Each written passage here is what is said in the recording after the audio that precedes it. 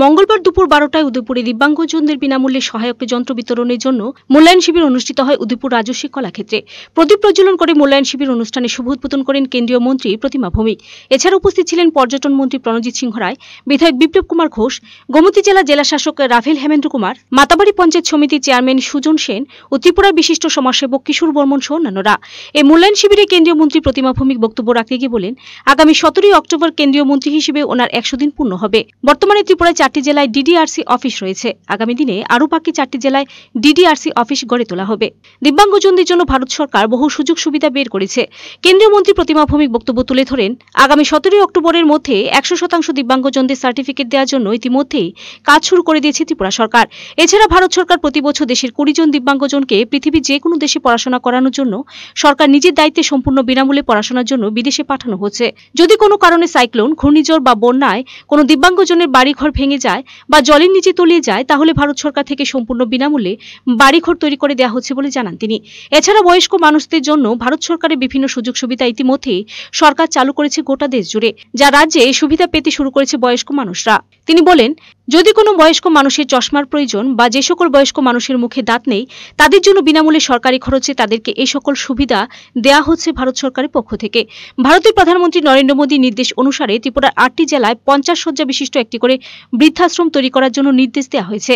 এছাড়া বয়স্ক মানুষদের হাত খরচের জন্য এবং সেই সাথে নিজে স্বাবলম্বী হওয়ার জন্য রাজ্যের বুকে আগামী নভেম্বর মাস থেকে বয়স্কদের সেলফ হেল্প গ্রুপ তৈরি করা হবে। এর জন্য দিল্লির একটি এনজিও সংস্থাকে প্রতি বছর আঠাশ লক্ষ টাকা করে দেওয়া হবে ভারত সরকারের পক্ষ থেকে। এরকম ভাবে ভারতবর্ষের দশ লক্ষ বয়স্ক মানুষকে সেলফ হেল্প গ্রুপের আওতায় আনা হবে বলে জানান কেন্দ্রীয় মন্ত্রী প্রতিমা ভৌমিক।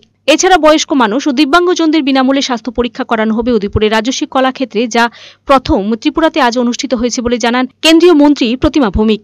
এদিনের এই মূল্যায়ন শিবিরে মাতাবাড়ি ব্লকের অধীন বয়স্ক দিব্যাঙ্গজনদের উপস্থিতি ছিল চোখে পড়ার মতো।